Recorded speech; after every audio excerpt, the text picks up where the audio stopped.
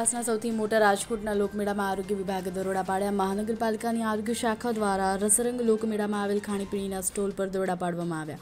અલગ અલગ સ્ટોર પર ચેકિંગ હાથ ધરી ફૂડ લાયસન્સ ચકાસી સ્થળ પર જ ખાદ્ય સામગ્રીનો નાશ કરી કાર્યવાહી હાથ ધરવામાં આવી. મહત્વનું છે કે રાજકોટના લોકમેળામાં કુલ બાણું જેટલા ખાણીપીણીના સ્ટોલ ફાળવામાં આવ્યા છે તે રાજકોટ સહિત સમગ્ર સૌરાષ્ટ્રભરમાંથી લોકમેળાની મજા માણવા આવતા લોકોના આરોગ્ય સાથે ચેડા ન થાય તે માટે દરોડા કામગીરી હાથ ધરવામાં આવી હતી. મનપાની આરોગ્ય શાખા દ્વારા અલગ અલગ સ્ટોલ પર દરોડા પાડી સ્થળ પર જ સેવ વાસી બ્રેડ તેમજ કચરાવાળી રબડી મળી આવતા તમામ અખાદ્ય સામગ્રીનો નાશ કરવામાં આવ્યો. Bureau report, CN twenty four news. હવે જુઓ, દેશ દુનિયાની તમામ ખબરો તમારી આંગળીના ટેરવે.